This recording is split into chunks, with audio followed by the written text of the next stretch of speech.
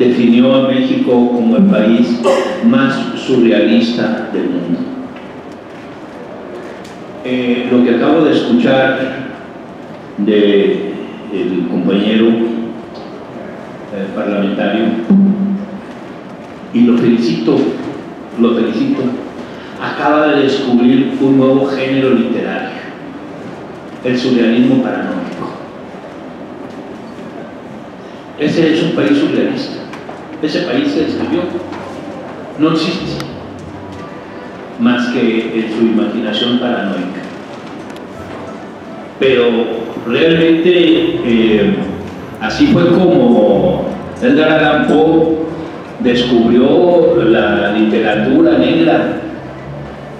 Eh, así fue como H.G. Wells descubrió la, la literatura este, um, de, los, mm, de la invasión de los marcianos. Bueno, ahora ya tenemos un nuevo literato eh, y, me da gusto compartir con él esta, eh, esta legislatura, pero les aseguro, de verdad, les aseguro que ese México que él describió no va a suceder. No va a ser así.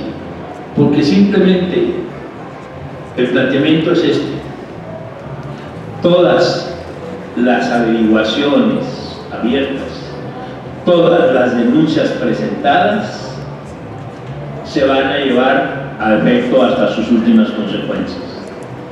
Si yo creo que algún funcionario cometió un delito, en lugar de, bueno, está muy bien, eh, literariamente puede hacerse eso, pero eso no tiene impactos. O sea, presenta la denuncia y, le, y yo junto con él exigiré que se le dé seguimiento a esa denuncia. Presente la denuncia porque eso es lo que está planteado.